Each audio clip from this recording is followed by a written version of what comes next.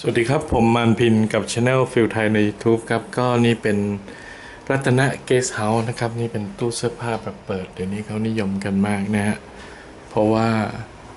อ่าแขกจะไม่ลืมของไว้ นี่ก็เตียงที่พักนะครับ นี่ตรงมุมตรงนี้ยังกับโรงแรมราคาหรูเลยนะครับ แต่นี้ราคาราคาแสนหนึ่งนะ แสนหนึ่งก็ประมาณสักอ่า แสนหนึ่งประมาณห้าร้อยบาทครับห้าร้อยบาท นี่ก็เป็นห้องน้ำนะครับไฟอยู่ตรงไหน ห้องน้ำไฟไม่ติดนะอ๋อไฟติดช้าหน่อยนะฮะก็มีฝักบัวน้ำอุ่นอยู่ตรงนี้ ซิงน้ำนะครับนะฮะนะครับ ตรงนั้นมีโต๊ะทำงานผมชอบมากเลยครับ ผมต้องทำงาน มีแอร์นะครับ ถ้าเอาไม่มีแอร์ก็จะถูกลงมาอีกยี่สิบพันก็เท่าไหร่นะ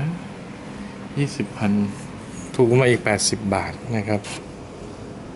อืมนี่เป็นหน้าต่างนะครับ ตรงนี้จะอยู่อีกซอยหนึ่งที่ไกลออกมา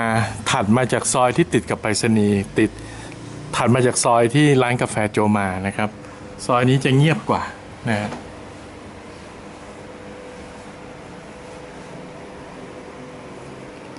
ก็ถ้าช่วงหน้าไฮราคาคงจะสูงกว่านี้นะครับ ก็พออยู่ได้ครับนะฮะ